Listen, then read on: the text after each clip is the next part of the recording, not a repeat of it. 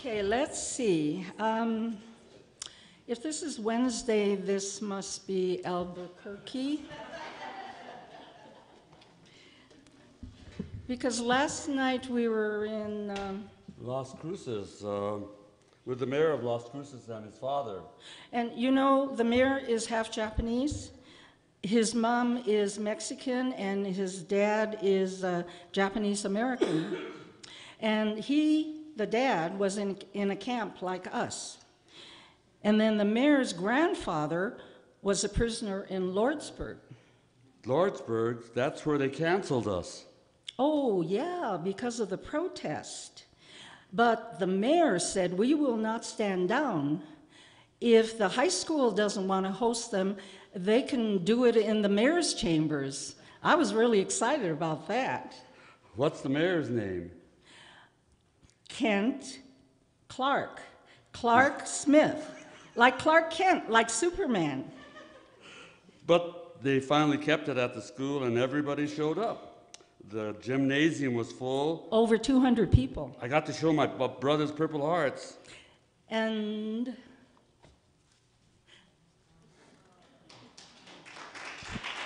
Two of them. And they gave us the key to the city. Plus these little um, stickers, there's the, this is New Mexico, of course, and then the Roadrunner, and it says Lordsburg. So we are honorary citizens of Lordsburg. So that woman actually did us a favor. She did make a speech after our presentation, but then like eight or 10 people lined up after her and went up to the mic in support of us. And, um, you know, people said they were Mexican and they were Native American, and uh, so there was a lot of identity there. So it was a really wonderful experience. Okay, so that was uh, Lordsburg Monday afternoon, and then we did Silver City in the evening, and New Mexico State last night. And okay, so it, yeah, it's Wednesday and it's Albuquerque. Hello. so my name is Nikki Nojima Louis, and I'm the humanities scholar and program designer for tonight's presentation. And I'm uh, Herb Tsuchiya, a retired pharmacist from Seattle, uh, Washington, father of five, grandfather of 12, and great great grandfather of one. So we are part of a continuing series of projects on the Japanese American experience sponsored by the New Mexico Japanese American Citizens League, or JACL. And we are grateful to the New Mexico Humanities Council for making these appearances possible. We're doing seven venues in six days. This is number five. Is that humane? Well, it's not the Humane Society, Herb, it's humanities. Still, Uh, and because some members of our audience um, are attending more than one event, we're, we vary our programming so it's not repetitive, and it, especially our panel presentations. Tomorrow, when we're in Gallup, we'll be with Medal of Honor winner Hershey Mi- Miyamura. Can I show my brother's purple, two Purple Hearts? I Of already course, did that. of already. I gave you course. an early preview. Hey, Again, two, two more times. But, but let's do the Hibben Auditorium tonight. Uh, so to let you know the general direction and timing of today's program, our project director, Sam Mihara, will narrate slides of Heart Mountain, one of the so-called family camps that were operated by the War Relocation Authority. Then Nikki and I will bring you another kind of camp story, the prison camps of New Mexico, related to you through diary entries kept by the prisoners at Lordsburg Camp. So these two presentations will conclude with a panel discussion, and that will be about the first hour. Um, first, we'll have JACL board member Victor Yamada on our current projects, and he's the coordinator of special projects for JACL. And then we'll have Dr. Andy Russell on the prison camps of New Mexico. After which we'll have a Q&A and you can talk. So I want to tell you that three of the people here tonight, at least three of them, um, are among the last generation to have experienced removal from their homes on the West Coast and incarceration by their own government behind barbed wire and under gun towers in isolated parts of the United States. Sam Mihara in Heart Mountain, Wyoming, and Herb and I in Minidoka, Idaho. Nikki and I are from Seattle, way up there in rain country.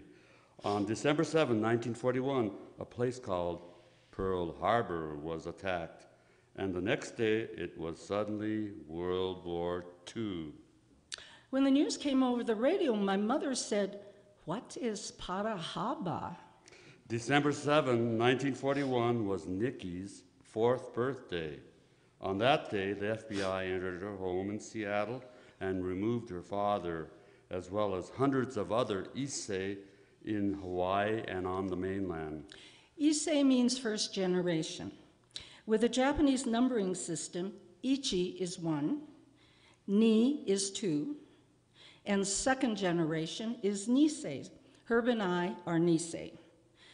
After interrogation at an army fort, when, after my father was taken away, he was held in Lordsburg and then Santa Fe prison camps from 1942 to 1946. So, Herb, how old were you when you went to Minidoka? I was uh, 10 years old. Do you remember anything about it? I was just four. I remember my address uh, Block 13, Barrack 6, Apartment C. Wow. Starting in April 1942, we were taken to temporary sites such as racetracks, stockyards, fairgrounds. We lived in horse stalls and underneath the grandstand at the Washington State Fairgrounds. New barracks were built with wood so green that it shrunk when the rains came, uh, leaving such wide gaps that scorpions, snakes, and all kinds of critters crawled in between the boards. Do you remember what our temporary camp was called? It was called Camp Harmony. But by November 1942, the move to 10 permanent WRA camps was complete. Manzanar, California. Granada, Colorado. Poston, Arizona. Gila River, Arizona. Topaz, Utah. Rohwer, Arkansas. Jerome, Arkansas. Heart Mountain, Wyoming. Minidoka, Minidoka, Idaho. Our first presentation centers on Heart Mountain, Wyoming, where our principal speaker, Sam Mihara, spent a part of his childhood. Sam is a retired rocket scientist who now resides in Huntington Beach, California, and travels all over the country with his talks on the Japanese American experience. Sam Mihara.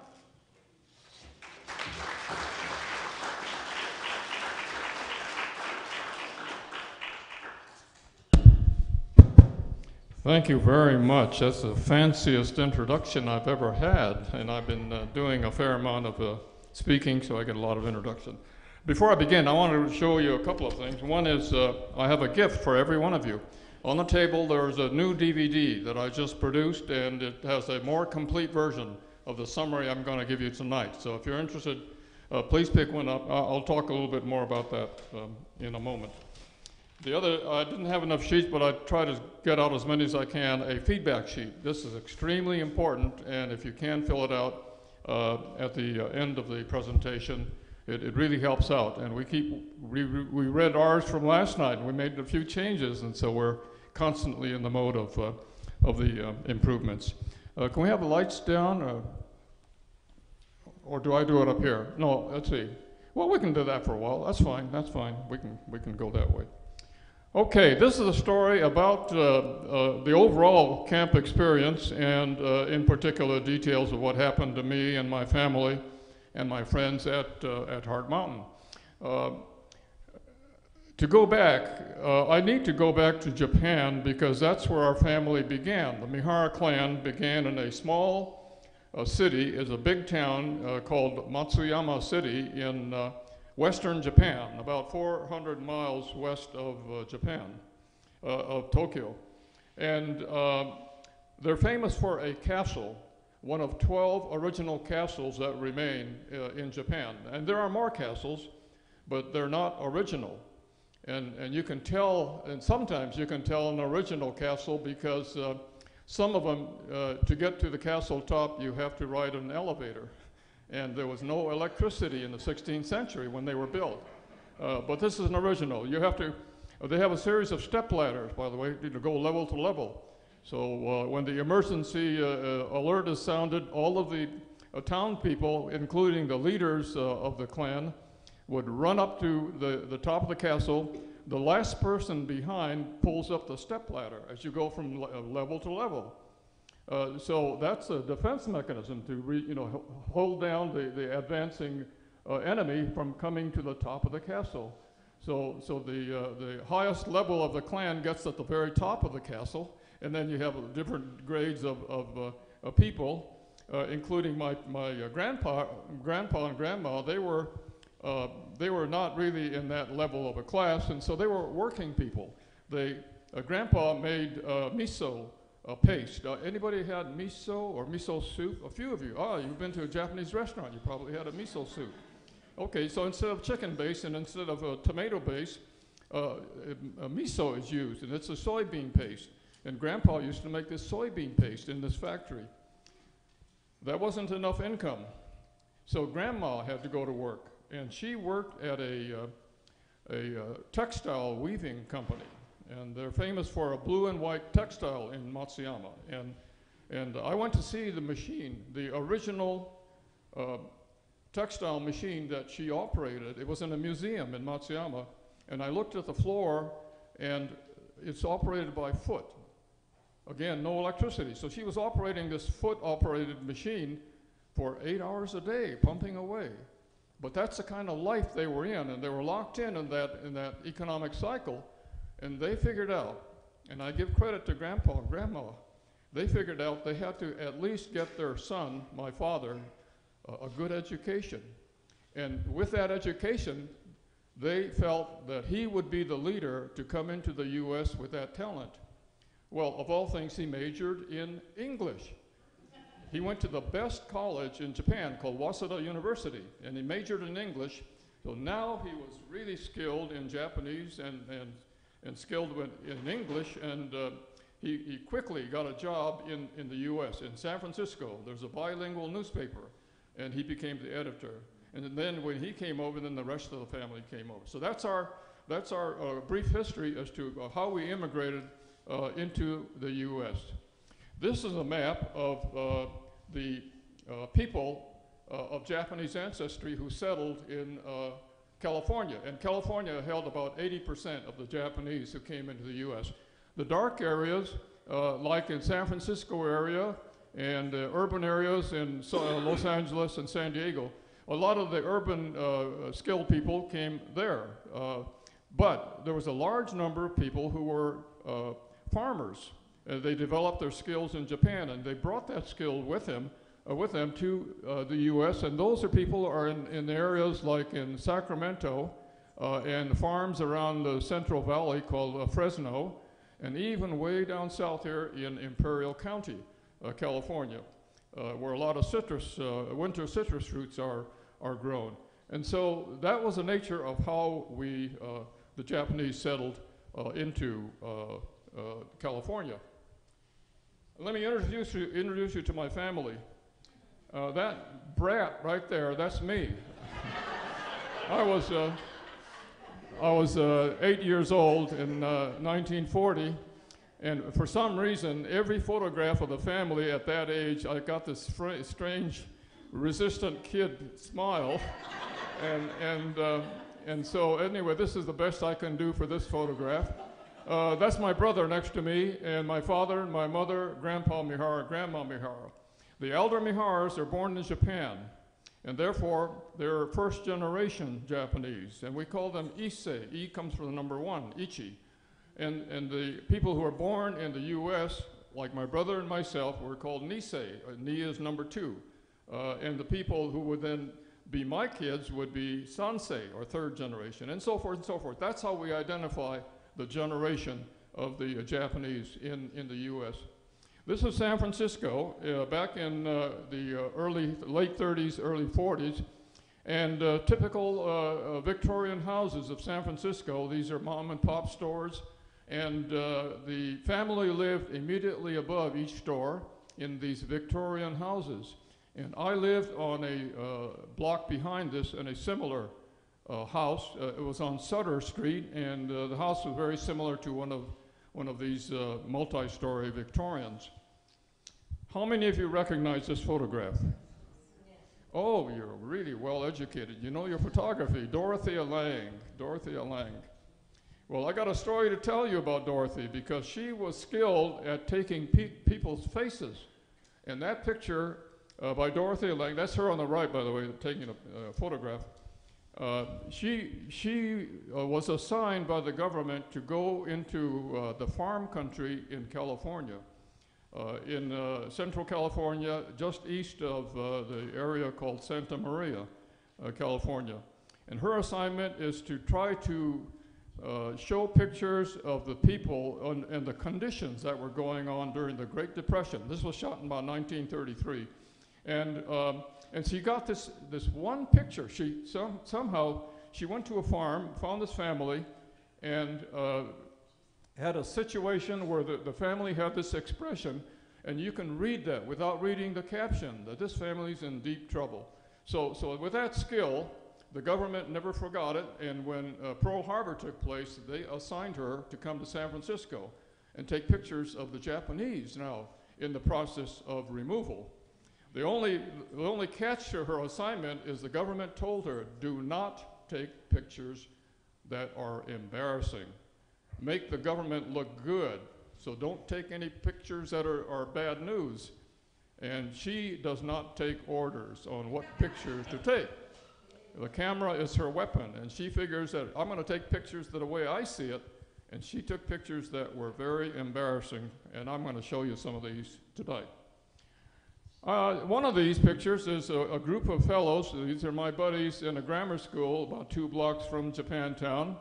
And uh, the fellow in the striped shirt here, he goes by that name, Hisashi Kobayashi. Now, Kobayashi is relatively a common name, but the first name, Hisashi, uh, our buddies who were non Japanese had trouble understanding and, and being able to pronounce our names. The parents gave us these long, fascinating, but difficult to pronounce names. And so Hisashi was uh, hard to pronounce by the other uh, fellows. And so what we said was, okay, we're going to all adopt nicknames. And in this case, we called uh, Hisashi Kobayashi, we called him Kobe, you know, like the famous uh, Bryant.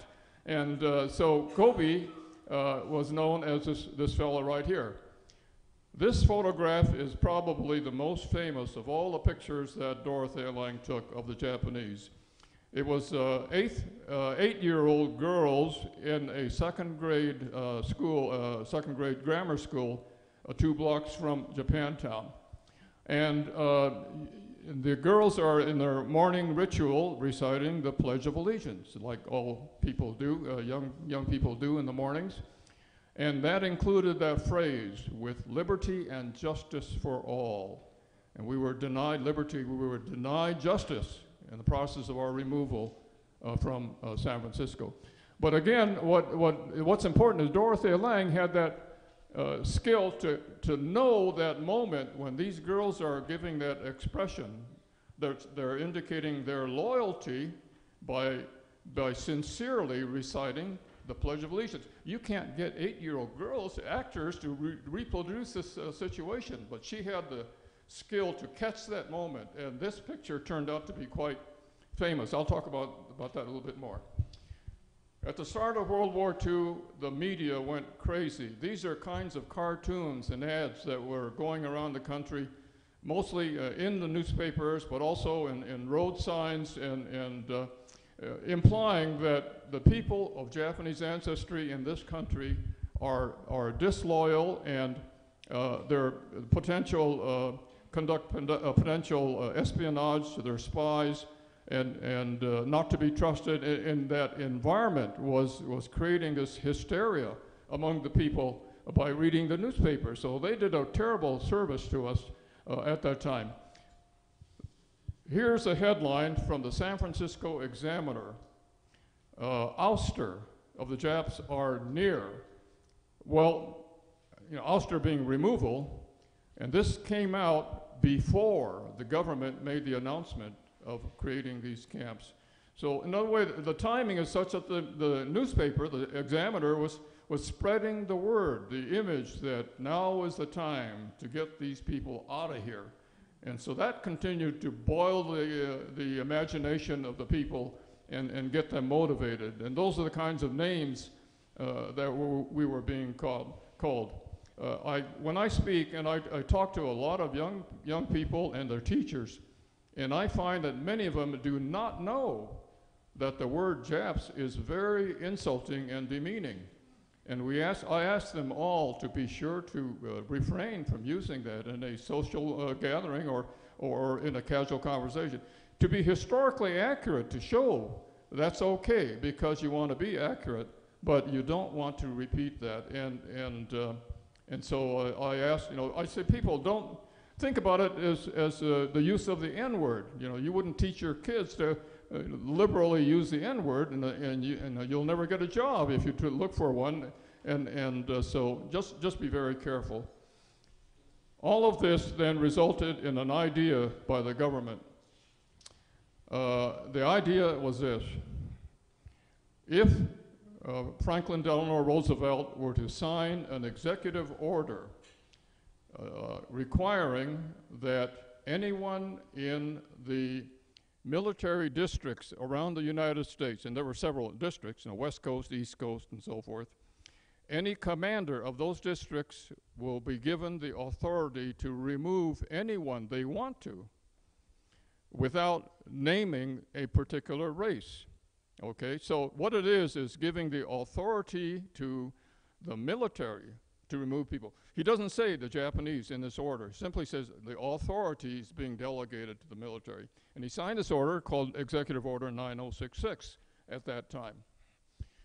Following that, the military order for the West Coast, uh, General DeWitt made the um, decision and announcement that it shall be the Japanese living in California, Oregon, and Washington who are the chosen people, and required that they move out relatively quickly. And, and this, this is an example of one of the five steps in the removal.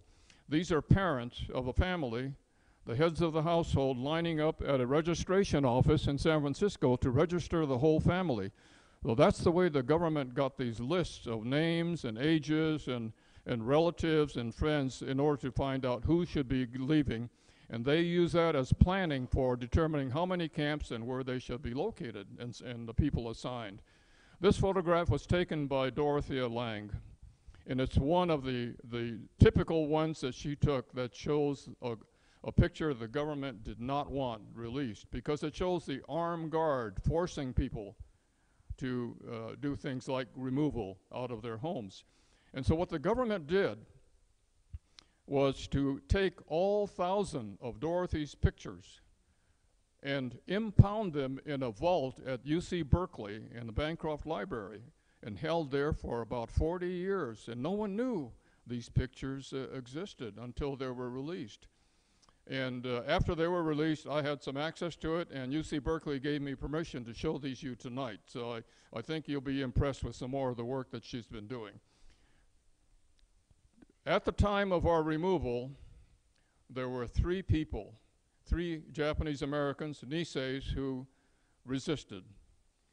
Uh, and uh, what's hard to believe is why only three?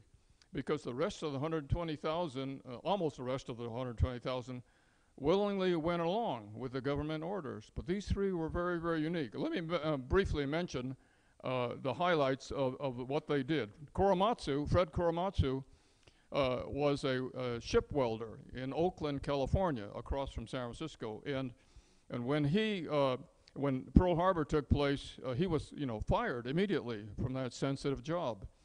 Uh, and uh, what he did was he, he, he had a girlfriend, a white Italian girl, which, by the way, in those days was a no-no. and, and so he, he, he and, and, and, his girlfriend figured out what to do is uh, you're going to get plastic surgery. and you're going to change your face, you're going to change your name. And that picture was taken after the surgery. You know, I would ask for my money back. That was terrible.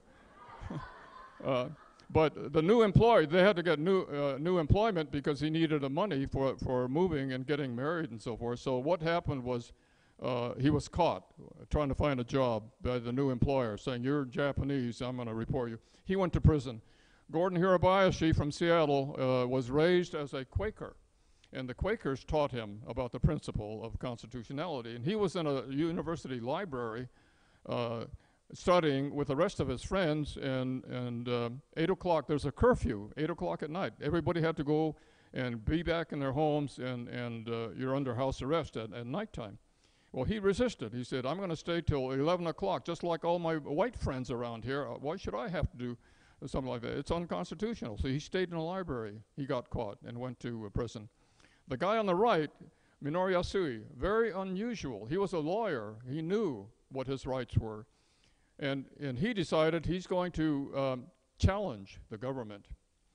And what he did was, after curfew began at 11 o'clock at night, he went out in the streets of Portland, Oregon, found a policeman, and told him, I am Japanese. At 11 o'clock at night, arrest me, because I'm going to challenge you and this, this arrest in court. Uh, the policeman didn't believe him, so told him to go home. And then the, the uh, so men, Min, uh, being the kind of person he is, he went to a, a police station and reported to the sergeant. And the sergeant told him, "You're arrested." And so he took him away. He was in solitary confinement for nine years before he went to prison. So uh, uh, all three are considered as as activists who, who tried to resist. Uh, and among the three, uh, Yasui is probably the most important uh, in the way of what he did. We got on the buses in San Francisco. They came to pick us up and, and uh, take us on a bus, each of us hand carrying one bag, and went to our first camps. Uh, these are called assembly centers. Well, what they are, they're horse race tracks. There are horse race tracks all along the West Coast, and the government closed them for the, the duration of the war, and they put barbed wire fences around each one, guard towers, armed guards, and so forth. So they made it a prison and we were jammed in there, uh, packed with people, and, and they just kept filling it until they couldn't hold anymore. And all the racetracks in, in, uh, in the West Coast uh, uh, held uh, all of us. And unfortunately, for the first group of people who went there, they had to live in horse stalls.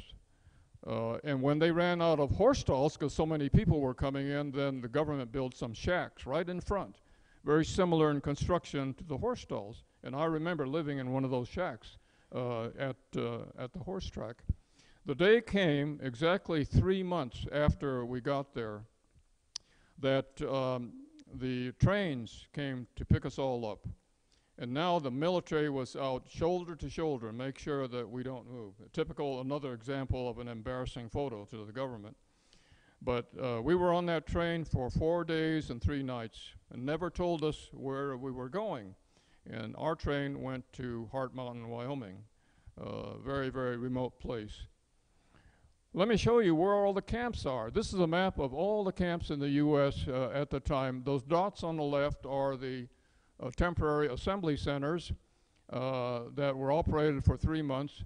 The stars in the middle of the country were existing or uh, quickly built uh, prison camps for certain people of the Japanese community. These were considered high risk people. The FBI identified certain members of the community, like uh, uh, ministers and uh, business leaders, and all of the men, first generation, then went to these particular prisons. There were three here in New Mexico one at Santa Fe, one in Lordsburg, and one in Fort Stanton, a smaller one.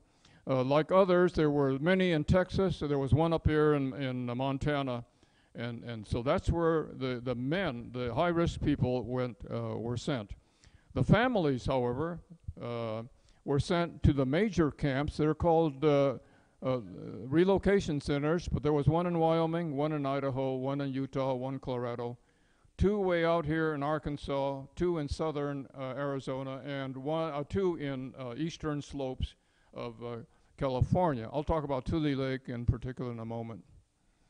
Where is Heart Mountain? Well, uh, if you've been to Yellowstone, you'll know that it's on the left corner, the uh, northwest corner of Wyoming over here.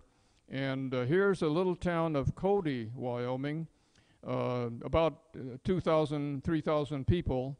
Uh, and further up the main highway is another town called Powell, Wyoming, about a thousand people. And uh, Heart Mountain is right in the middle between the two, about 15 miles from each of those two towns. And uh, what was interesting to me was to try to find out what did the people of Cody think when they first heard there's going to be a 10,000 Japanese coming to their neighborhood. And so I did some research. I read every Cody newspaper starting in 1940, and a lot of it was boring until this particular headline. I'm sorry, I'll talk about the headline in a moment. But uh, there's a, another way to find out what the people thought, and that is through interviews of people who used to live there. And one of those was a fellow named Alan Simpson, Senator Alan Simpson. Uh, he was a teenager at that time living in Cody. And he, he did an interview, and I got a copy of his uh, taped interview when he talked about what the people of Cody thought when these massive numbers of Japanese were coming to their neighborhood. Let's watch it. So then we were told there were 11,000 people there. Well, there were only two cities larger than that in Wyoming. That was Cheyenne and Casper. Powell was about 2,500, Cody probably 3,500, and so people thought, now if those people escape, we'll all be killed. Well, there were 11,000 of them there, and they're going to break out, and they'll come to town, and we'll be dead. Isn't that ridiculous? You know, a, a massive attack of men, women, and children and elderly is going to break out of camp, go descend on, on Cody and, and kill them all with our bare hands. But that was a mentality uh, of the people there at Cody, and it's similar when at Powell.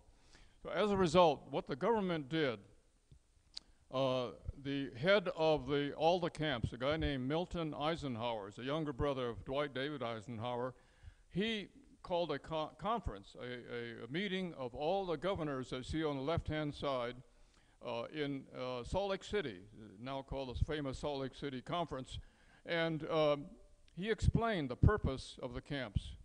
And the purpose being, this is simply a gathering place. Don't worry, they're going to leave your state as soon as we can convince them to move back east. They're not going to stay in Wyoming, Idaho, Colorado, and so forth. And uh, the government then tried to convince them, but the governors uh, rebelled. They said, No way are you going to allow people under unsupervised, non guarded conditions. And they demanded that uh, the camps be made into prisons by installation of fences and guard towers and weapons, uh, guards with weapons. And so, with one exception, by the way, Ralph Carr of Colorado he, he didn't think that was the right thing to do, so he objected. But all the other governors uh, made statements uh, on demanding that we be, be made into a, a prison. Uh, so, what, what uh, Milton Eisenhower did was then uh, he, he yielded. He said, okay, you're right, I'm going to change the design to uh, prisons.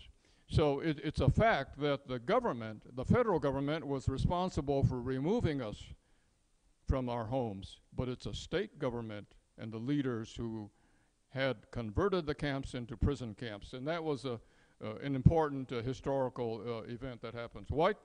Uh, so what we're talking now about is uh, how did they build it so so quickly? Well, they got this awful desolate country around Co- uh, Heart Mountain. They brought in 2,000 workers into the area. They built these barracks uh, at a rate of one every hour around the clock until they finished the entire camp. This is a picture of almost completion of the, of the camp. And uh, in the middle area are the assembled uh, uh, barracks. In the background are the tar paper covered barracks. And, um, and that was the uh, construction activity. Here's the completed camp. There's Heart Mountain in the middle, the barracks on the left. And now the, the uh, barbed wire fences, the guard towers. There were nine towers surrounding the entire uh, complex uh, of the Heart Mountain camp. If I had to show one picture, and only one picture that be, will be important, that's this one here. On the left, you see a, an armed guard on top of the guard tower with a weapon pointing toward the uh, barracks. In the middle, it shows details of the guard tower with the searchlights aiming toward the barracks. But most important on the right side is the telltale signs. One is in English and the other is in Japanese. And it makes it clear anyone who approaches and tries to cross this fence will be shot. And that defines an, an imprisonment, that defines a prison. Anyone inside feels they're going to get hurt by crossing that line, you're, you're in a prison. And some people I've talked to would, comment, well, Heart Mountain did not look like Alcatraz, so how could you call it a prison? And my point is, it doesn't have to look like it, it has to feel like it. If you feel you're going to get hurt, then you are in a prison. And so Heart Mountain and all the other camps, uh, by definition now, is a prison condition. When I got there to Heart Mountain, uh, we got off the train, uh, took our one, one hand carry bag, got on trucks, uh, and uh, notice uh, the people here getting off the train wearing what I call California clothing. But Since they didn't tell us where we were going, we were wearing this very light clothing, and we, we got there in the fall, and uh, we had no idea of the winter that was going to uh, be experienced. Also, when I got there, um, that's me in the middle, about 11 years old, at the camp in front of my barrack. Uh, the government said, uh, You have two numbers that are very important. The first number is my uh, barrack assignment, so block 14 barrack number 22 in uh, room or C, uh, uh, the cell number is C. And if you don't remember that, no matter what your age, if, if you don't know where you, you forgot your number, then no one else knows what, what barrack you live in. There were 500 barracks, they're all identical. So, so that's one number. All all of us remember who were in the camps what, what, uh, what that particular location was, the block number and so forth. The second number is my prisoner number, 26737 with a letter at the end. That was designating my uh, number in the prison. And uh, to this day, uh, there is a file in the Washington, D.C. on 120,000 prisoners. All 120,000 files are in there. And anyone who's a, a, a relative of a, uh, of a prisoner can ask for and receive copies, a CD of all of the papers inside their, their uh, uh, relatives' uh, file. That's how I got a lot of information about my, my uh, parents and my grandparents. Here's a map of the camp, the location of all 30 blocks or of 500 uh, barracks, and the railroad tracks on the side where we got off going into the main gate, and, and then the trucks went over to my block, which is 14, and, uh, and so. Here's the details of each barrack. There were six rooms in each barrack. Uh, the end ones are the smallest, they held couples.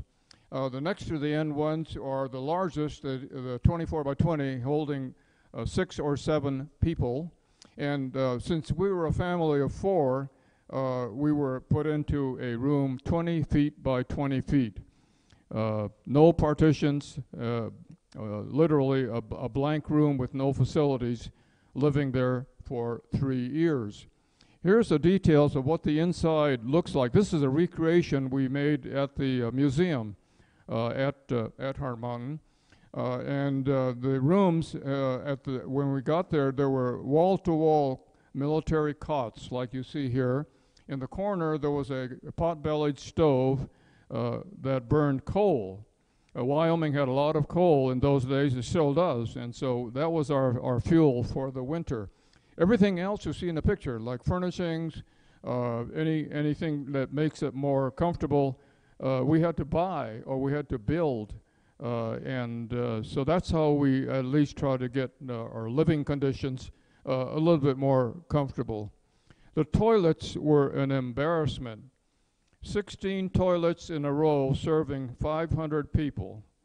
That's how many people there were in these blocks and no partitions. That was the, probably the worst part of all, especially after breakfast. And so, what we did was, uh, uh, well, we complained, but the government could not do anything about it by this time. We had to live under that condition. The Japanese love bathing. They call it ofuro, or bathing. And they love these bathtubs, uh, but there were no bathtubs, and so we made them out of pickle barrels and uh, that way we at least had a one person bathtub uh, in the camp. The food that we got at the start was horrible. Uh, by example, this picture shows bread, potatoes, there was powdered milk in that can, and once in a while they would serve mutton, which is a, a lamb from Australia, and that was awful. The Japanese did not eat in those days uh, bread and potatoes and, and powdered milk, and especially mutton. And so we asked the government to let us grow our own food and therefore save the government a lot of money by buying these foods that we don't eat. So we built farms. Here's the camp itself, here's Heart Mountain, and we built farms in that uh, territory uh, out of undeveloped land, and we, we brought in water from Yellowstone, and also there's a river run, runs flowing from Yellowstone downstream. We're able to tap into that and irrigate all of the farms, and we by one year we were able to change our diet uh, to fresh veggies and and uh, and uh, we had to bring in some rice from other parts of the country because we can't grow rice in northern Wyoming. Uh, but at least we were able to get the kind of foods that we were uh, accustomed to. The winters, uh, as indicated by this illustration uh, by a lady artist in the camp named Estelle Ishigo. And Estelle uh, went around camp trying to uh, create images of what the conditions in the camp were. And one of these is this one here, which turns out to be uh, very famous and important. It's a winter, uh, the blizzards in, of Wyoming, and these kids are going to school in that blizzard wearing typical California clothing. And, and uh, what was difficult is that winter it got down to minus 28 degrees Fahrenheit. It was awful. And the wind blowing at about 50 miles an hour. And, and uh, to this day, we can still feel it in our bones when we think about those conditions as we uh, look at art by uh, Estelle. The classrooms were like a bare room. There was nothing in it when we first got there. So the first thing that came was benches, and we used the benches for um, uh, tables until they, they built more furniture and, and, and uh, made it look more, more comfortable. I have to stop at this moment because there's a bigger story within the camp, and that is the number of people who volunteered for the U.S. military during World War II. Japanese American soldiers who, who fought for the U.S. Uh, a total of some 33,000 Japanese Americans who uh, volunteered and uh, went into the military. 800 of them were from Heart Mountain, so that indicates the, the degree of loyalty. What's unbelievable is they're doing that under the condition that their own families are still in the prison created by the government who's asking them to serve. That's the dichotomy of the situation at the time. So it was very unusual for these people to, um, to uh, serve in the military. Toward the end of our stay, there was a hero. We call him a hero because of the action he took. His name is James Purcell. He's a white civil rights attorney in San Francisco. And he figured out the problem that Korematsu, Hirabayashi, and, and uh, uh, uh, Min Yasui had was um, they broke the law. They admitted it, you know, breaking the, the curfew law uh, and other rules that were going on. And, and they were sent to prison. So they were, in a sense, disloyal to the rules that the government created. So he figured out, we're gonna, I'm going to find a perfect citizen. He found it in this one lady named Mitsuye Endo, E-N-D-O, which the lawyers today know is quite a, a, a milestone uh, case. Because what, what Purcell did, he filed a lawsuit against the government on the claim that you cannot hold an American citizen in a prison for three years without at least a hearing and Mitsuye Endo had a perfect record. Never been arrested, never been to Japan, had no association with anyone in Jap- Japan. In fact, she worked for the state of California as an employee. And so he filed a, a lawsuit. It got to the Supreme Court. Supreme Court finally said, You're right. That's unconstitutional. Let her go and at the same time let all the prisoners in these camps go. So that's what broke the doors open, and that's how we got out when the Supreme Court finally changed their mind and let us go. A very, very important case. The day came, though, the trains came back to pick us all up. This is the last train that left, massive numbers of people getting on the train. and uh, late, um, uh, late, late 1945, November the 10th, we all left. They took the barracks. The government wanted to, you know, quote, erase the existence of a prison camp. They uh, sold each barrack for one dollar apiece and sold it to the local farmers in, in, in that area, northern Wyoming, uh, all the farms. And uh, so the land was cleared, and then they leveled it, and then they gave small parcels of the land uh, to returning veterans from World War II so they can start their own new lives with the former grounds that where the prison used to be. Uh, but they left a few things, and, I'll point that out in a moment. We were not happy even after they released us because we felt there was a, a, a real wrong that was done to all of us, and we demanded an apology in an activity called redress, redress of, of the mistakes that the government made. And that effort took 50 years to try to gain an apology from, uh, with, with a lot of expert uh, attorneys trying to, uh, to convince Congress. Uh, and, uh, and a major activity during this time was an, an exhibit in Washington, D.C., next to uh, the Congress. and the exhibit featured at the entrance uh, Dorothea Lange's photograph, and we now call her the poster girl. And, and they, uh, they saw that at the entrance, and inside were photographs of the military soldiers, the Niseis, who were fighting, uh, and some got killed in fighting in Italy and France. Um, and also at the same time, there were exhibits of photographs of families the soldiers' relatives who were caught behind, uh, not caught, taken behind bars at, at, uh, at the prison camps, including this photograph. This is an important one. This is the family of Sergeant Masuda. That's Kaz Masuda in a uniform. Uh, the whole family, they, they used to live uh, uh, close to where I live in California. Uh, but uh, the entire family, kids, elderly, everyone was in a prison camp when Sergeant Masuda went back into the, the military. He was shipped to Italy and he, kill, he was killed. He died in action uh, right after that. Uh, so, with that kind of an image, we sent that to President Roosevelt, uh, President Reagan at that time in 1988. And he finally was uh, convinced yes, it is now time to apologize.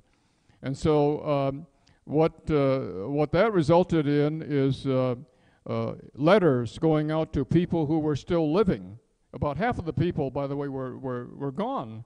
So out of the 120,000, there were some 60,000 people, including myself, who were left. And uh, so uh, we all got letters, like this one here I got. It was until about two years later when George Bush, the first George Bush, uh, sent me a letter, and uh, in it are the key words that we wanted sincere apology that we were looking for, along with a, a check to help pay for the losses that we suffered uh, at the time we were removed. Well, to wind things down, uh, we might be interested. What happened to some of my buddies, like Kobe? Well, he went to Berkeley with me, graduated, became a pharmacist, and he still looks like Kobe, except a little white hair.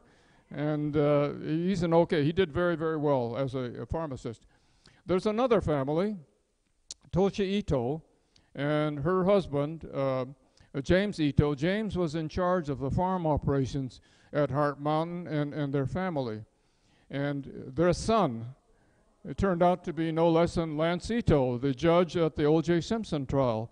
And uh, I see uh, Lance once in a while. Uh, he's a nice guy outside the courtroom, uh, but uh, uh, I don't know inside. but Lance is a, is a very bright, successful jurist on, on Sam, in Los Angeles. Uh, I went to Berkeley and UCLA graduate school, became an engineer, hired by the Boeing company as a rocket scientist, helped to put up a lot of rockets, including most of the satellites that you people use today, and a very, very uh, enjoyable, rewarding career. What ever happened to the poster girl, mysterious poster girl? Did she ever appear again? Did she disappear? Well, hardly. She grew up, and this is what she looks like today. The eyes look the same, and the nose looks the same, typical Japanese nose. Uh, but uh, uh, she uh, grew up and um, went to college, and uh, she became Mrs. Mihara. We've been married for 60 years. And uh, we have two daughters and two grandkids, and they're also doing well, except they're, they're no longer kids. They just graduated from college, and so so uh, it turned out uh, life turned out relatively okay for us, and we're we're pleased about that. Heart Mountain today, not too much different. The mountain's still there, but uh, we uh, created a foundation to help create a new museum at the site.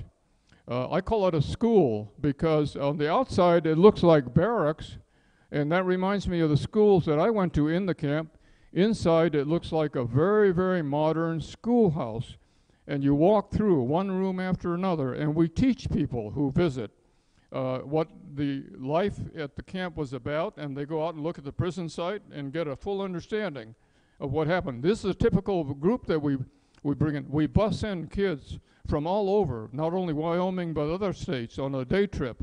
And, and we bring them in and we teach them uh, what was important about what happened in the camp and their, their rights as, as U.S. citizens that, that they should enjoy and, and never forget. So it's a, it's a real educational program that uh, we think is, is very worthwhile, uh, and we're continuing to do that.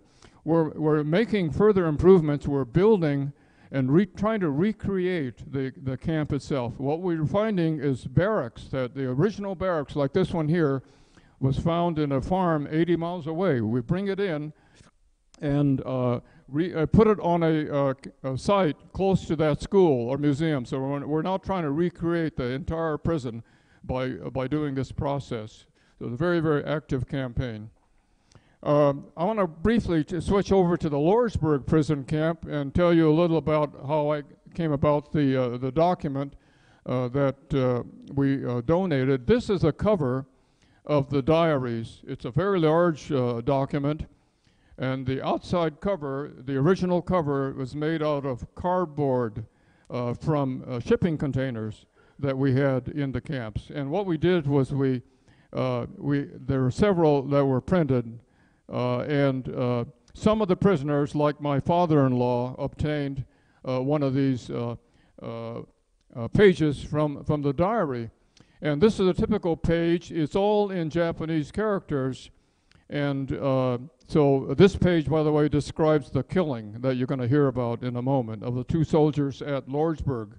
Uh, and uh, so we're in the process of translating all these. Inside the diaries is a sketch of the uh, the, the uh, barracks and the facilities at uh, Lordsburg. These are the individual barracks, and there's a mess hall and so forth. So the, the design is very similar to that that we had at Heart Mountain. Here's some pictures of Lordsburg. The prisoners uh, at that time was being transferred from Lordsburg to another camp. Uh, and uh, here's a sketch of the inside of the barracks, some hundred people uh, uh, crammed into each barrack. Uh, and here's some of the prisoners that were located in Lordsburg. quickly summarizing the comparison, the left column are the highlights of the Heart Mountain camp, and the right side is the features of the Lordsburg camp. Like Heart Mountain had 10 to 15 or 14,000 people. Lordsburg had between 1,000 to 200, uh, 2,500 people the Heart Mountain was families, and the uh, Lordsburg was all men, uh. Uh, the density, we had 25 prisoners per barrack, uh, and some were allowed to move back east if they wanted to move, but not to the west coast. Uh, at Lordsburg, we had some 100 prisoners per barrack, not allowed to leave under any circumstance. We had schools because we had kids at Heart Mountain, and there were no shootings by the guards but at uh, Lordsburg, uh, there were no schools, and in this case, there were two uh, prisoners who were shot and killed. So with that, uh, I'm going to transition then um, back to Nikki to describe uh, some of the details uh, in that diary. And so, Nikki?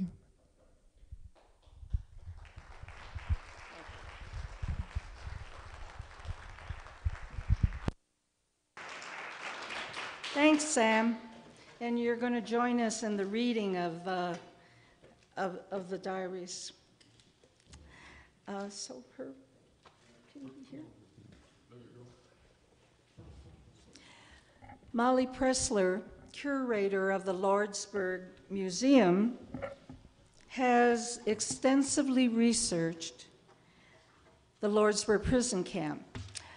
After the Japanese uh, Issei were incarcerated there, um, Italian and German prisoners of war were, were also there. And, and the Issei men were then transferred to Santa Fe. So this has led to um, a little bit of confusion because many people still feel that these Issei men who were in Lordsburg uh, at the beginning uh, were Japanese soldiers who were captured in Japan instead of uh, older men who had lived in the United States for a long time and who had been prevented from becoming citizens due to the early Asian exclusion laws. Um, so Molly has researched why Lordsburg was designated as the site of this uh, permanent enemy alien detention camp. Like my father, you know, as I said, uh, my father had come to the, my father was born in 1888. And he came to the United States to attend university. And he loved America, he loved the freedom of America, so he stayed and married and had uh, a child. And uh, therefore, on December 7th, 1941, he was, you know, kind of fell between the tracks. Um, and like many uh, thousands of, of Issei men. Herb? The Lordsburg camp was the only camp run by the U.S. Army to be built specifically for enemy aliens, and it was the Army's largest center for their incarceration. So, why was Lordsburg chosen? It's a remote area, it has level terrain, and is not heavily populated. It has access to railroads, a coast to coast highway, and is relatively near to other military installations. It has, it has an airport and its own resources for water, gas, and electricity. Buildings began in February of 1942 and continued into 1943, bringing an economic boom to Lordsburg. There were 283 buildings, some of which were built with the help of Issei uh, carpenters. In the middle of the camp, there were three compounds designed to hold 3,000 men. Each compound had 10 barracks, which would billet 200 men, two mess halls, and two latrines. Lordsburg townspeople felt tense upon hearing that Japanese were coming in June of 1942. But once they were there, it was hard to see any threat to those uh, by those mostly older men, average age 55, who seemed of calm demeanor. Tenseness, however, increased inside the camp for the internees. They objected to harsh treatment given them by the Army. They were required to clean up the mess hall, soldiers' latrines, and infirmaries to level and clean up the grounds, to dig post holes in the cemetery enclosures, and to go to Lordsburg for loading quartermaster supplies, etc., all outside of their compounds and without payment in money as per the minimum wage outlined in the Geneva Convention for Class II labor. The pay they did receive was in coupons worth about 10 cents a day.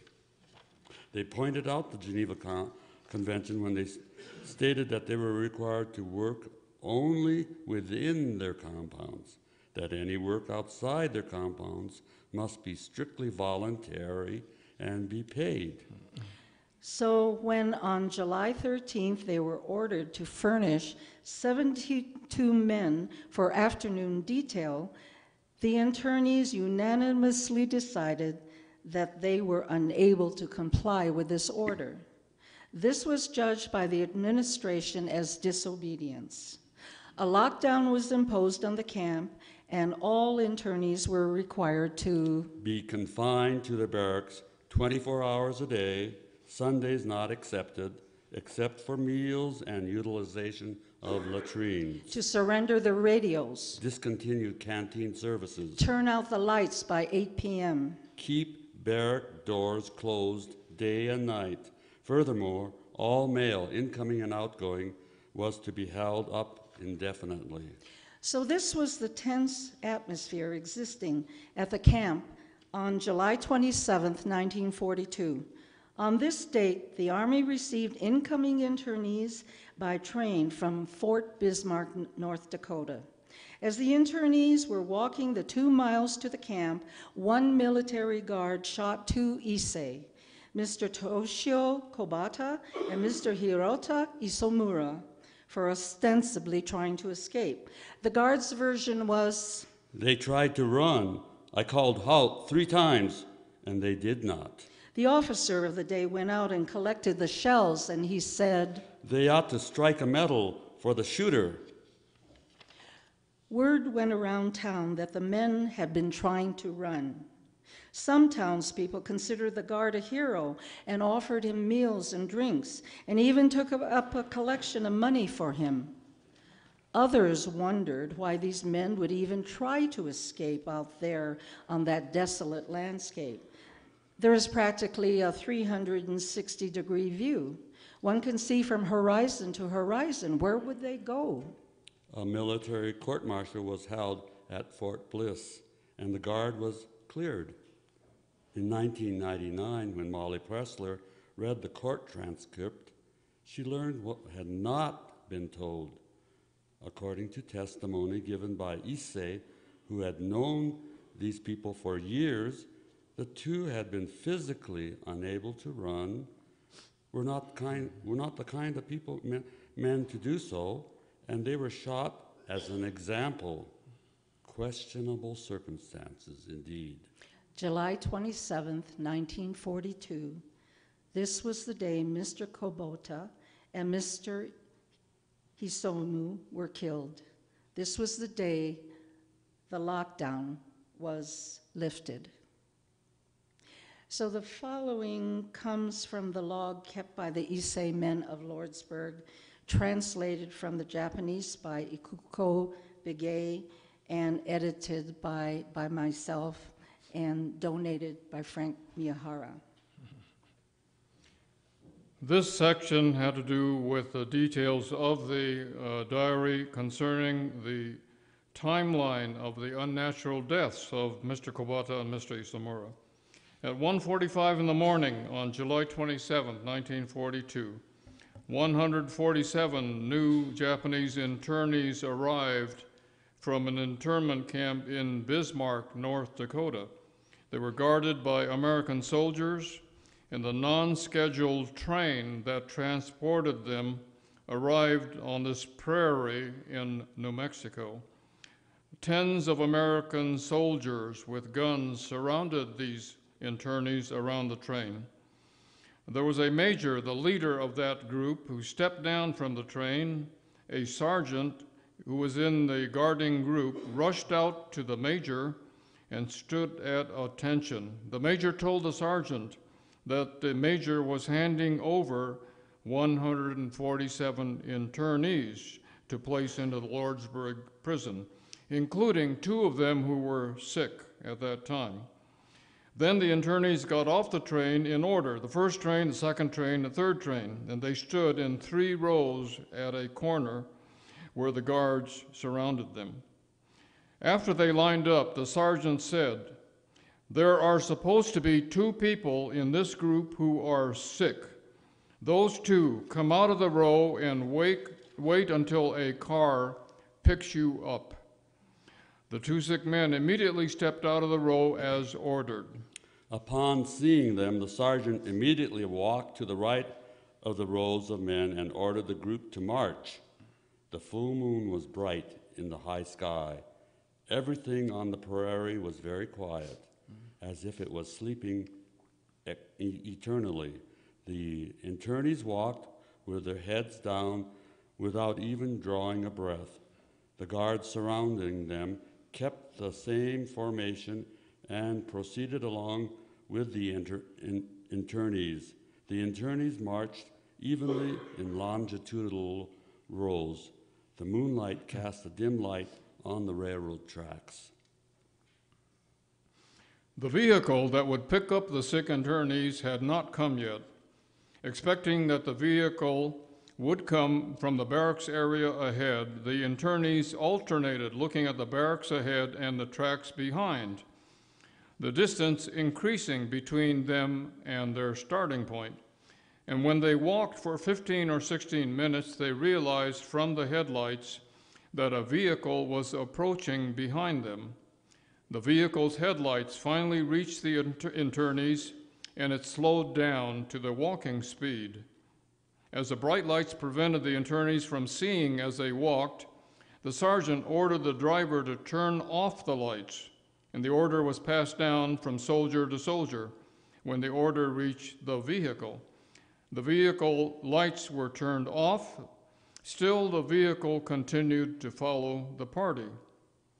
A while later, the engine charged and passed the men on the left side uh, of the column, if, as if the driver was angered by the group slowing down. And uh, then it quickly disappeared from their sight. It was a two door sedan coupe, but it did not appear the sick persons were inside that car. If the sick people were in it, at least it should have been driven carefully. For this reason, some people thought that wasn't it. Maybe the vehicle to pick up the sick people will come from the barracks ahead. About the time the party reached a well lit building on the left ahead of and closest to the barracks, one vehicle had come out of the barracks area. It came fast to the right in front of the party, passed the party on the shoulder, and stopped at the entrance of the building. Then the driver and a soldier disappeared into the building. The lights confirmed that the vehicle was a military truck. The building seemed to be a bar or a recreation room. The information about the sick people who had difficulty walking must have been given to the previous authority to this authority. Why had they arranged adequate? Why had they uh, not arranged adequately before the train arrived? Are those two sick internees still standing by the railroad in the prairie, waiting for a, a vehicle to pick them up? How long are we going to be in this situation with such extremely rude treatment from the soldier aiming uh, a go- cold gun at us? The internees felt their impending future with horror and rage. The party finally reached the entrance of the camp at 3 a.m. Thus, then a roll call was taken by a second lieutenant and 145 internees, except the two sick internees, were forced into the wired fenced camp. Soon after dawn, someone started to mention that the two sick internees, Mr. Kobata and Mr. Isomura, who had been separated from the party, were shot to death by a soldier. The rumor spread that they were shot because they tried to escape. We were stunned to hear the rumor because Mr. Kobata has been suffering from lung disease for a long time. He's been bedridden in the hospital at that last camp in Bismarck, and he had to be transported to uh, Lordsburg on a stretcher. Mr. Is- Isomura had fallen when he tried to move from a pier to a fishing boat. He damaged his spinal cord more than 10 years ago. He had trouble walking, and he could walk only for five feet, stop, and then walk again and stop. And most of us could not believe the two had attempted to escape under such conditions. Many people fo- uh, came forward saying, I heard two gunshots while the roll call was being made last night. I heard three gunshots, said another. And moreover, among the internees who had been there before us, one by one they came forward saying, My sleep was shattered by these gunshots. We vowed to find out the truth as we fellow Japanese had helped one another during the six months of confinement at that last camp in Bismarck. The 34 concerned people rushed to the dispensary. As the hospital building had not been completed at that time, All sick internees were laid side by side in a small room next to the dispensary. All medical staff was Japanese. We asked about the two sick pe- persons. No one was admitted, was the reply. Then, where did the two go? Were they temporarily hospitalized in Lordsburg? Or, like the rumor, were they shot down at, dawn for escaping as in spite of the warning shots? At least we decided to ask a military doctor on, on the phone. We were relieved to get the answer from him that the two were being treated in another place. On the next day, the 28th, a message from a military doctor uh, announced that uh, Isomura and Kobata had been shot to death at dawn yesterday because they had attempted to escape. So the diary translation goes on in this vein. Uh, Ten witnesses, Issei witnesses who knew these men, were selected to, uh, to testify at the preliminary hearing and later on at the court martial. And as uh, Molly Pressler has reported, uh, the soldier Poston was uh, acquitted and considered by many a, a hero in his town. Uh, so much more research and study and further translations of the diary needs to be done, which we intend to do. And so that uh, allows me to segue to um, a, a scholar and also to a JACL board member uh, who would uh, like to tell you about our current uh, activities on Japanese uh, American experience in addition to the, these uh, translation diaries. Thanks a lot, you guys.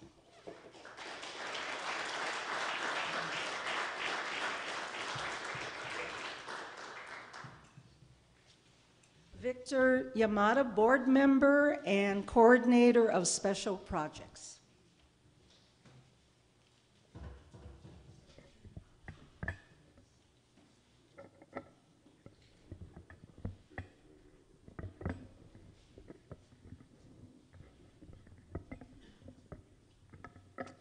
Okay, thank you. Um, I want to um, first start off with a couple of uh, very recent uh, announcements that I think are very pertinent to what we're talking about.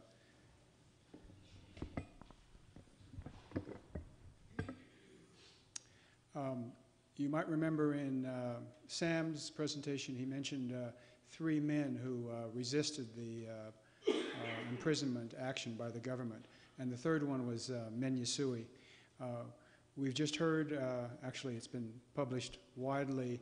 The White House on Monday announced that uh, Min Yasui will be one of the ones that will be receiving the Presidential Medal of Freedom. So that's. I think as you appreciate that is the highest civilian honor that can be received. And um, it's, it's, I think if some of you have heard or will, will see, it's an interesting list. It's, it's alphabetical. It starts with Yogi Berra, and it includes uh, Councilwoman uh, Shirley Chisholm, uh, includes entertainers, etc. But um, uh, obviously, most important to us as Japanese Americans is that uh, Min Yasui is on that list uh, posthumous, posthumously. Um, the, the second announcement is actually related also to Min Yasui, and again, good news. Um, Nikki and the uh, New Mexico JACL last week heard from the uh, New Mexico Humanities Council that we've won uh, a grant to uh, put on what we call the uh, Citizen Min Minyasui in New Mexico story. And uh, very briefly, without going into too much detail, um, Min Yasui, during the redress activity that Sam referred to, made a visit to New Mexico. Uh, it was part of a JACL conference in Albuquerque. And um, um, on the same dais was uh, Senator Pete Domenici. Um, uh, Min was here to uh, push for a redress, and, and, at the time that he was on the dais and talking directly to Pete Domenici, he was able to convince uh, Senator Domenici to swing to support the, the redress legislation. So that was one of a, obviously one of many important actions to, to get redress adopted by uh, the legislature and then ultimately by uh, uh, President Reagan signing the, the law. So uh, we're going to be telling that story, uh, and um, we'll be traveling again throughout the state with that particular story. Uh, a number of the people with JACL and others are still living who were at that, at that particular conference. So we have uh, a lot of verification that that, that happened in a, in a public uh, situation. So again, two bits of good news that I wanted to mention. Um, What um, I'll do next is briefly summarize our, our current major project, the New Mexico JACL, and that's uh, confinement in the land of enchantment, Japanese Americans in New Mexico during World War II, and we use the acronym CLOE. As you've heard from uh, uh, all of our speakers, uh, Japanese Americans were imprisoned in New Mexico during World War II. Uh, New Mexico JACL, in conjunction with Colorado State University, the uh, Public Lands History Center there, we're, we're doing a, a joint project to document the imprisonment um, and educate the public on this uh, chapter of World War II New Mexico history. Uh, the, the project is primarily funded by the National Park Service, part of their Japanese American Confinement Sites program.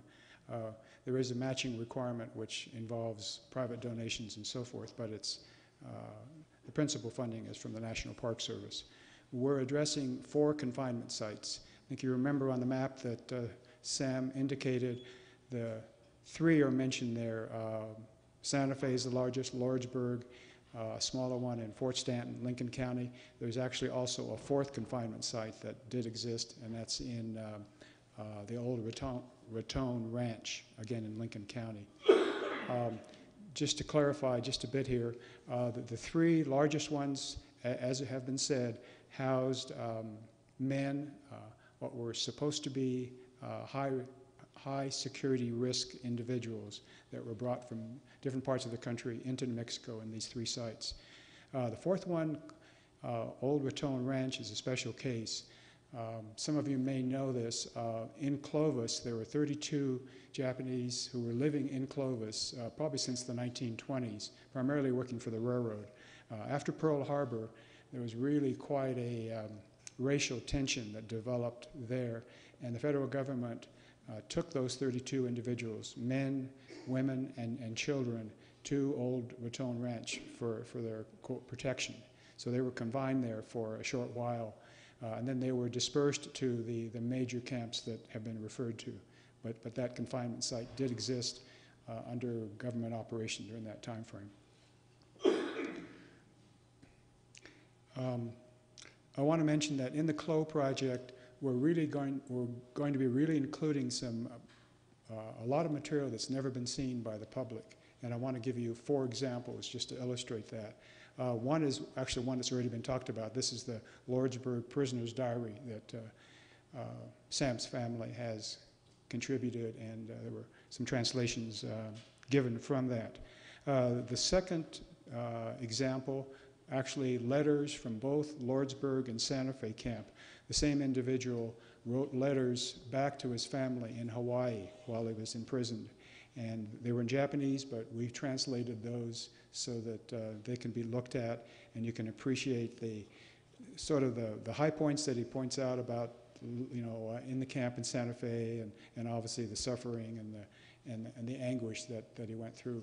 And you can still see that tone, even though it's censored. There's a lot of words that are blocked out by the, by the government censor. But uh, those have been translated uh, and are available or will be, will be referred to in the, in the project. Um, a third example, in, in the Santa Fe camp, uh, there was a, a medical doctor who was picked up in Portland, Oregon, and eventually ended up in Santa Fe, and he served as the de facto medical officer there. Um, he helped assemble a scrap album during the time that he was there, and uh, to me, it's quite interesting.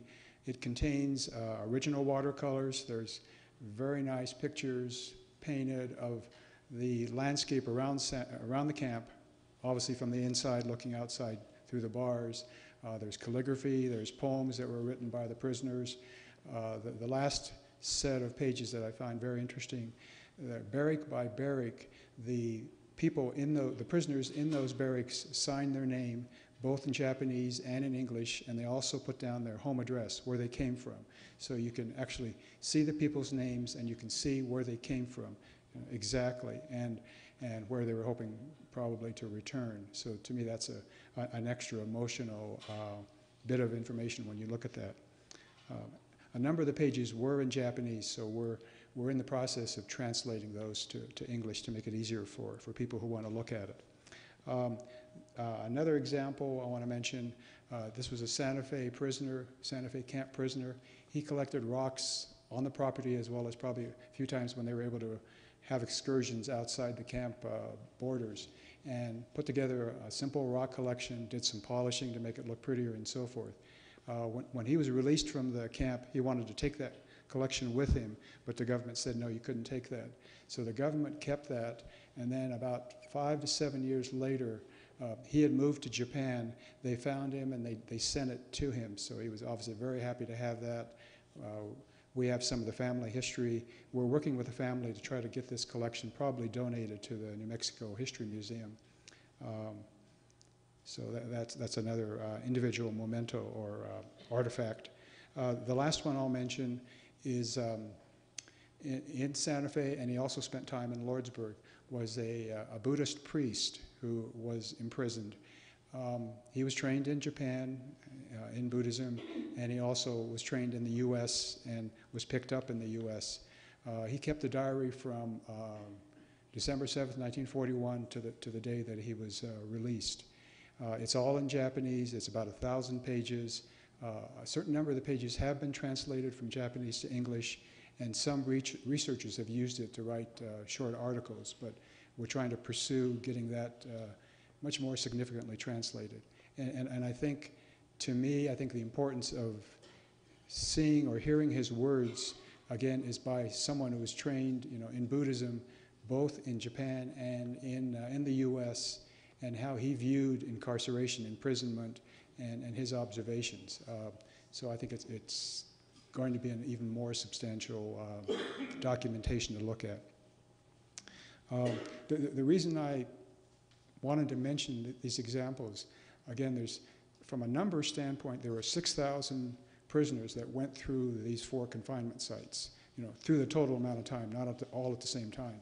But that's still 6,000 individual stories. And uh, I think when, when you can look at the individual situation, their experience, what they might have expressed, I think that adds to your understanding of the uh, imprisonment experience. Uh, we do have oral histories of some of the folks that were, were or still alive, so they, their uh, experiences are said in their own, own words. And again, those will be available um, in the project. The, uh, the project itself, in terms of schedule, oh, I'm sorry, I forgot to mention, but the, this, the three tasks within the project are first to put down historic markers at the sites uh, if they don't already exist. The second is to prepare and publish a, an outreach publication that documents the experience at the four sites. And, and the third is to put together a website so that the public can access all of the materials that we've collected. Like, like you all know, in today's world, good websites really allow that to, to uh, be accessed. So we're putting that together. The, the schedule for this is uh, um, we're on target to finish all of this by the spring of next year. And, and I can fully attest to that because we, we on the team are currently reviewing the draft sections of all this material. So we're, we're very much on target and we expect to have that released in, in a few months. Um, after that's done, what we would like to do is pursue a next phase where we would organize a traveling exhibit of the material and take it around the state to help educate students and the general public so they, they uh, see the materials and see some of us talk about the, uh, the, the product of this project. Uh, we're going to be pursuing funding and, and so forth, so, but we hope to be successful in that. Again, for the overall goal is we want to document this chapter of uh, New Mexico history and then provide the information so we can uh, educate the public about this uh, time in World War II. Um, outside in the lobby, I've got some of the materials. Uh, I, I did have a project summary, eight pages, but I think a number of you already picked that up. If you're interested in that, I've got a sign-up sheet and I can uh, email that to you electronically if you're interested. It's, it's a very good eight-page summary of our project. Uh, and then I've also got some other materials that are um, uh, images from the camps, um, some of which you've seen from Sam's presentation, et cetera, but we've got some other ones to illustrate the resource material that we have. Um, those are all things that we're uh, keeping and will include in the project as we, as we um, uh, finish that up in the spring. Uh, With that, I'll turn it over to the panel and with uh, Dr. Russell. Okay, and I I just want to mention, speaking of stories, um, the reason Victor and I wrote a grant uh, called Min, or Citizen Min in New Mexico was because we were working with an oral history project of um, uh, stories of Asian Americans in New Mexico. And three of the people we interviewed told us this Min Yasui story, Min Yasui and Pete Domenici story. I mean, all separately, all in, in, in different ways.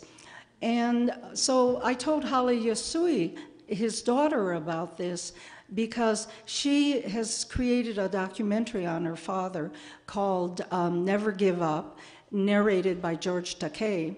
And it's opening at the Los Angeles um, Japanese American History Museum uh, next year. And, uh, and then she uh, and I have collaborated on a play on her dad, which portrays what um, Sam was talking about his arrest and so forth, and his civil liberties trial. So Holly, uh, his daughter, did not know about these stories about Pete Domenici. And right after the opening of her play in, of her film in Los Angeles, she said, I want to start my, my tour of the states in New Mexico. So therefore, our project is called Citizen Min in New Mexico. And, and for him to be nominated with Shirley Chisholm and Yogi Berra, I mean, how American can you get?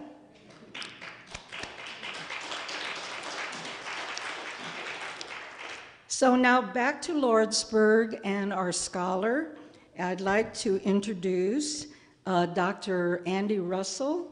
Uh, he's, you know, good enough to come out tonight with a cold, and in spite of his very busy schedule, he's a professor of history whose scholarship specializes in the history of Japanese Americans of the interior West. Uh, he, his dissertation is on the Japanese railroad and mining communities, and he's a historian working on the CLOE project. Dr. Andy Russell.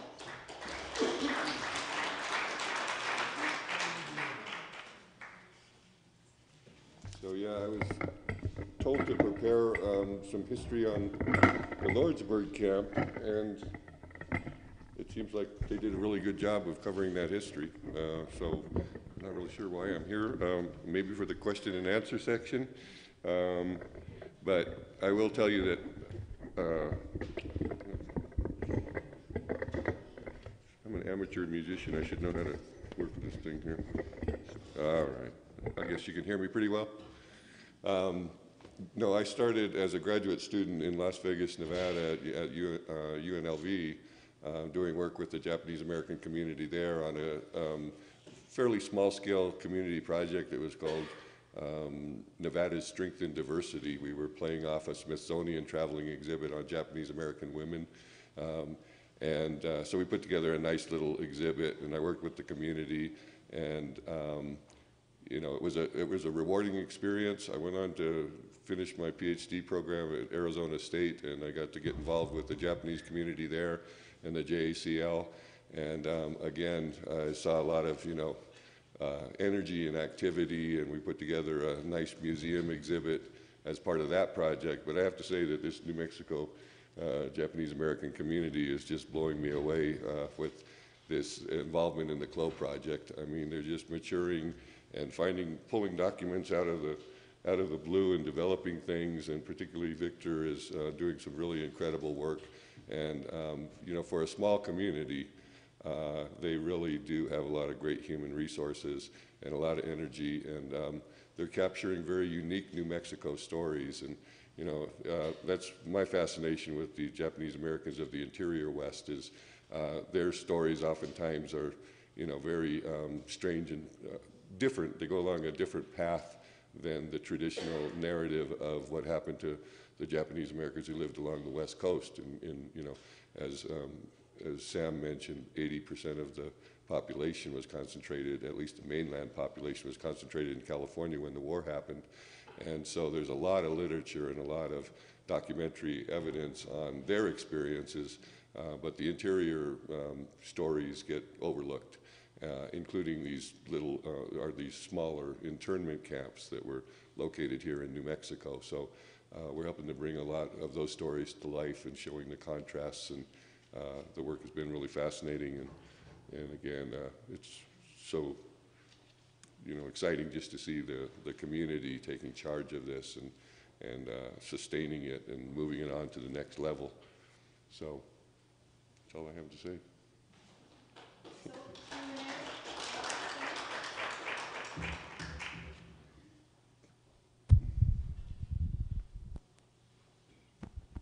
Testing, okay. No, not working. There we go. Okay, fine. Thank you very much. Uh, we have time for some Q and A. Before I announce, announce some of you uh, may have to leave, but please pick up your DVD, and if you leave a contribution, it'll keep the buses going to keep the school kids coming to our, our school. That really would help out.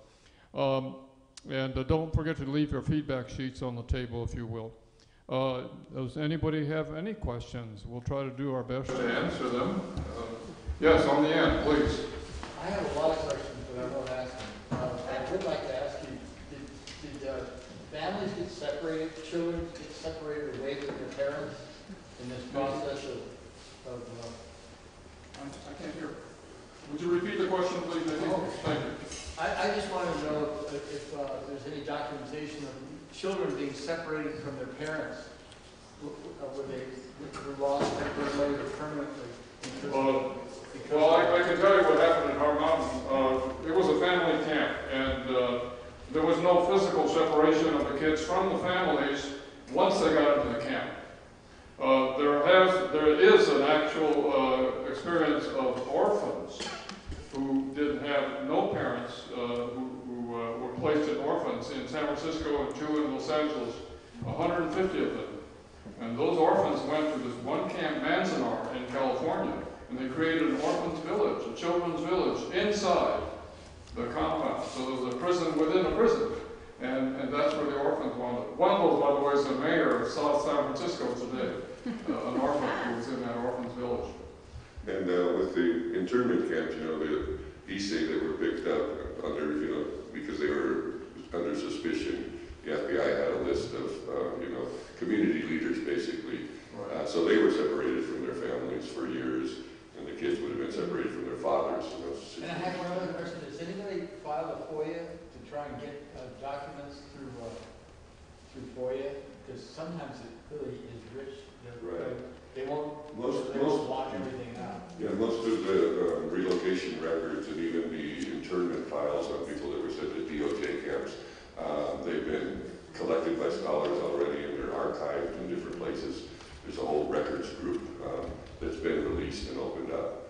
Uh, But I did have the experience of trying to file a FOIA in my research and uh, with the FBI, and it took like six Would you years or explain so. what that is? Oh, Freedom of Information Act request. Years? Yeah, the FBI stalled me and stalled me and stalled me, and it was interesting because uh, the railroad and mining communities were fighting for a separate redress battle that they had to fight. And um, as soon as they got their redress, I got my FBI files. So it was like the government was sort of, you know, holding those back for whatever reason. Lie and obfuscate all all the time. Yes, in the back, the lady.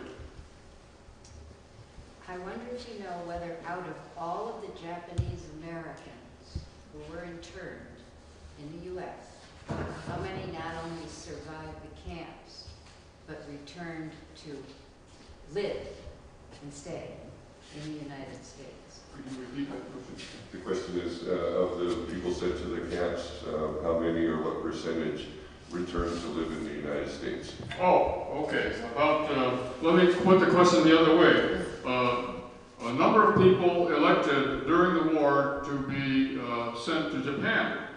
Uh, and they were placed in a camp in uh, California, Tule Lake Camp, uh, in a holding position. And there were supposed to be negotiations going on for transfer of Americans who were caught in Japan to make the transfer to the people who wanted to go back to Japan. And therefore, by the way, they're losing their citizenship if the families went. Uh, that did take place. It was not a large number, but there was a group of people who, who did give up their citizenship and went to Japan uh, as a result. Uh, but the majority, you know, like most of us do, we didn't want to go back to Japan, and we wanted to stay here in the U.S., and so we, we stayed. And, and uh, There's no going back to Japan if you weren't from Japan. Yeah, You know, if you were born in the United States, this is the country you're from. Yeah, we were Americans. But now there were, you know, of those Issei that were sent to the camps here in New Mexico, for instance, uh, some of them, especially if they were single, single men, uh, they might have wanted to repatriate back to Japan, and a good number of them did.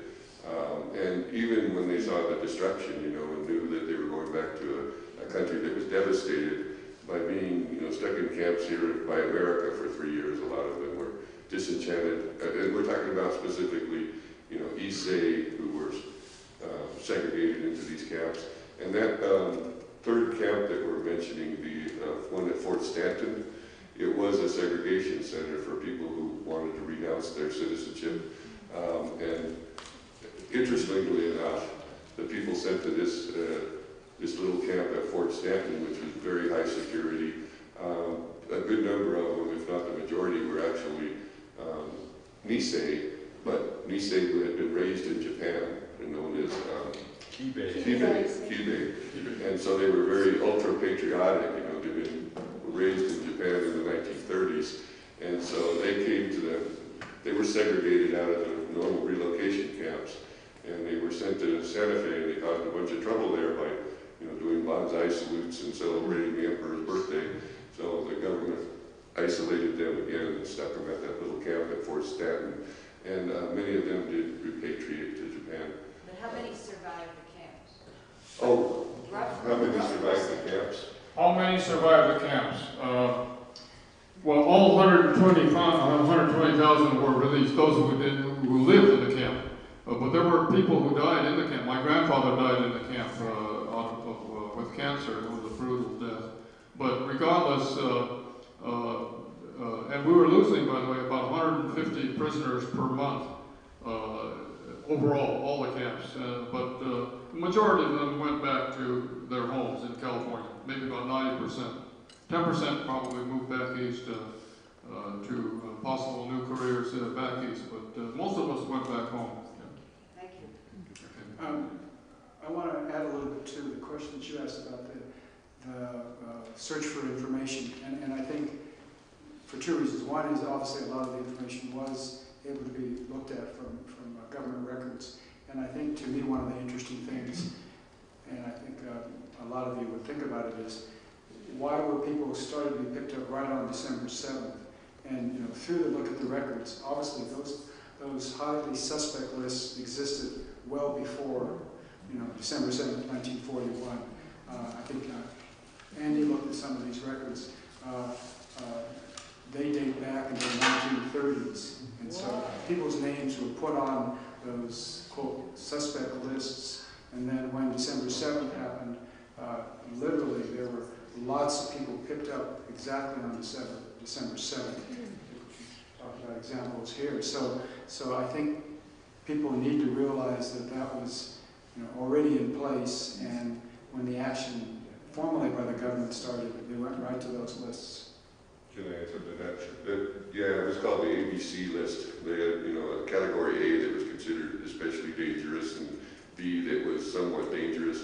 And they listed the dangerousness of these individuals. But, you know, the files that I looked at when I was doing research in, on uh, people in Nevada, uh, the, the charges were, you know, very spurious. It was like somebody just gave a, an off-the-cuff remark about someone and it triggered their name to go on the list.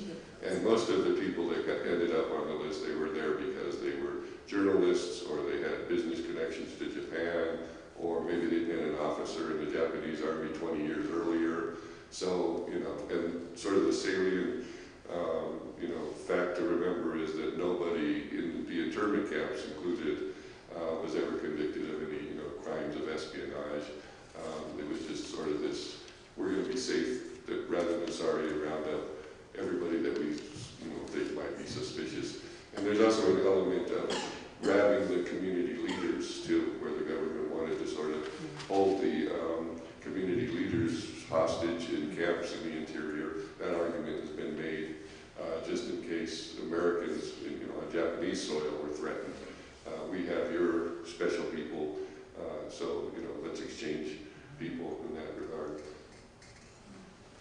We were, we were at war with Germany and um, Italy for years. Were any uh, Germans, German Americans or Italian Americans ever rounded up?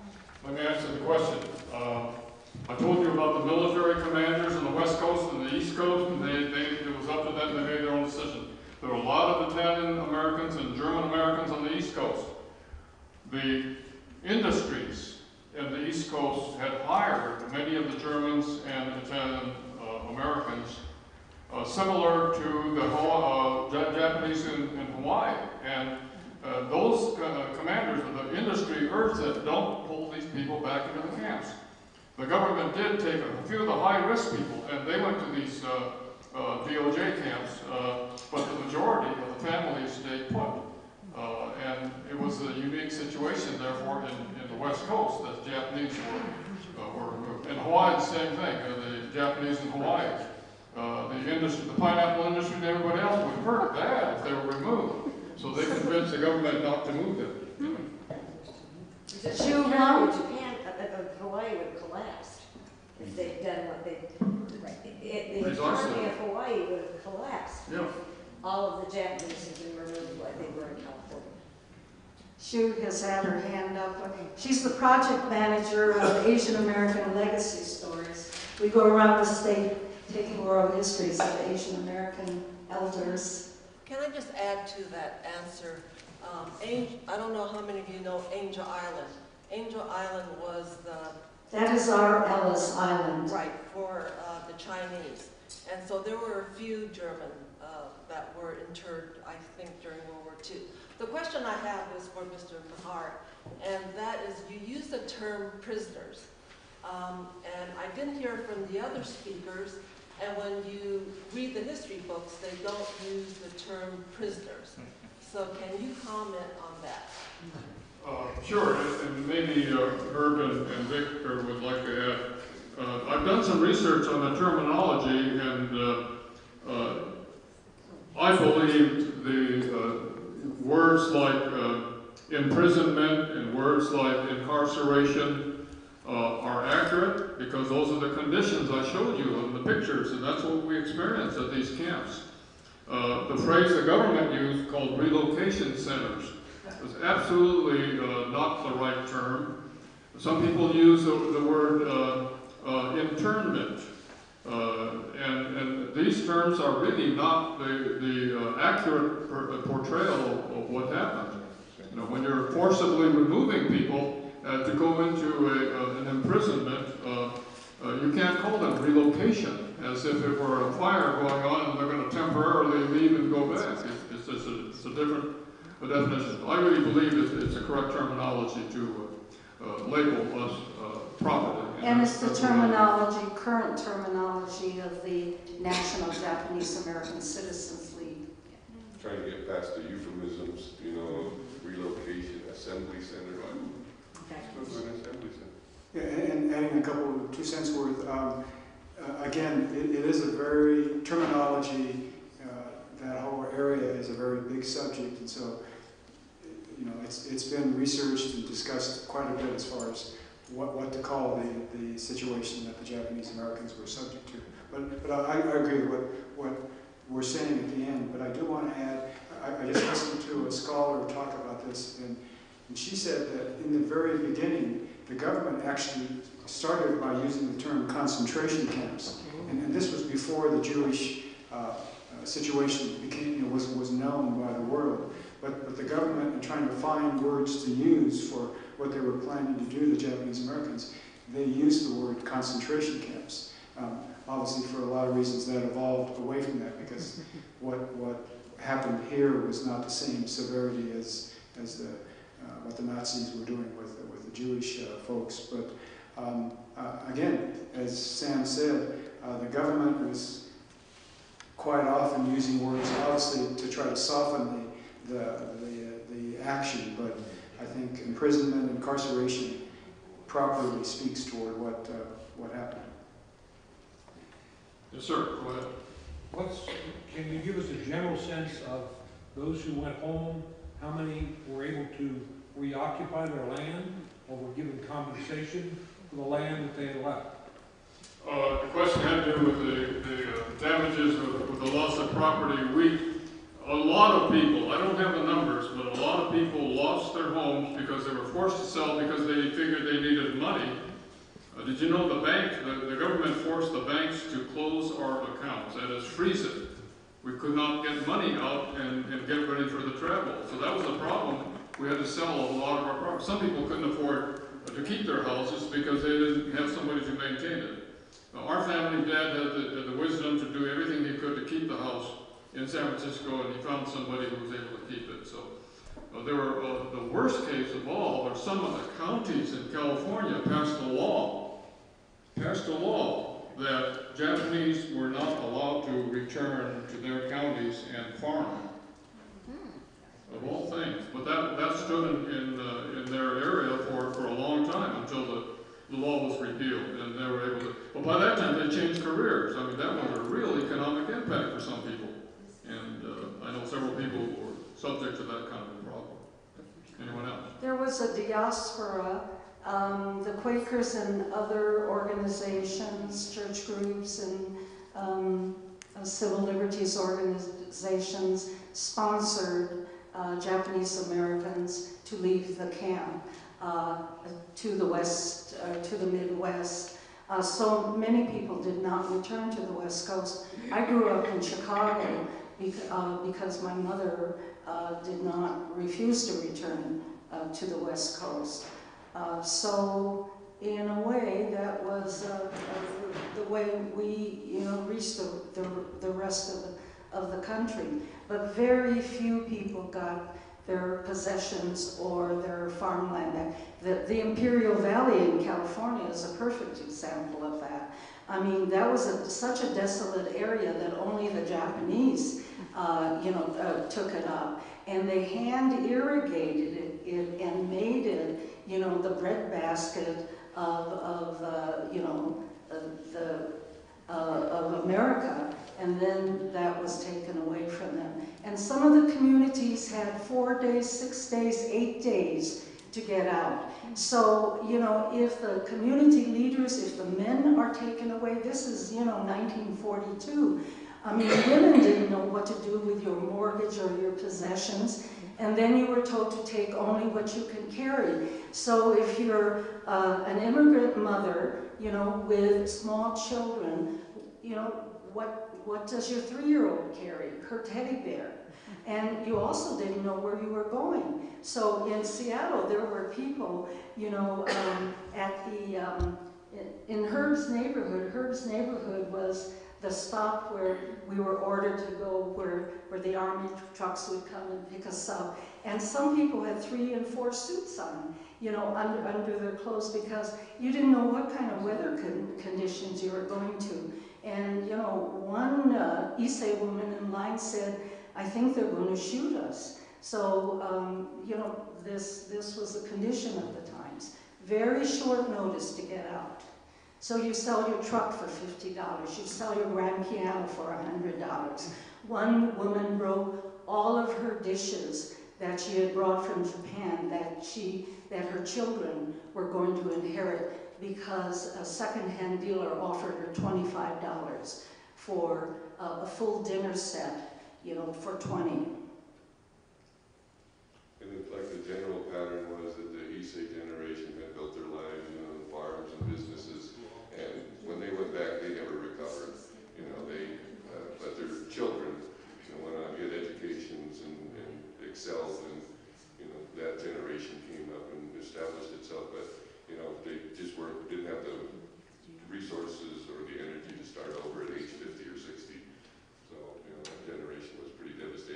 plus the camp experience also, you know, reversed the power structure in the family. Uh, the, you know, the Nisei, the older kids would be the ones that had to sort of in, uh, help the parents along through the camp bureaucracy and, you know, sort of take over the affairs of the family. Uh, so, yeah, so generation-wise, you can see the real you know, tragedy in that, in that sense. Uh, two more questions. Next to the last one. Yes. Uh, I, I just wanted to say thank you all very much, but um, one of the things that was mentioned uh, that I may missed because I didn't know where the space was, um, it it was, was that you had talked about the JACL being, um, in, in the other presentation on Saturday, being a civil rights organization, and that you don't want this to happen again. And I'm lis- listening to the propaganda and the behavior of the uh, governors and the mayors and where these camps were gonna be, and I'm looking at the news today, and I'm not seeing a whole lot of difference in the craziness and the hysteria relative to um, Syrian refugees. And I just, I wish we'd stop being so horrible. But I just, I I just wanted to say thank you very much for an outstanding presentation and all the work you're doing. Thank you.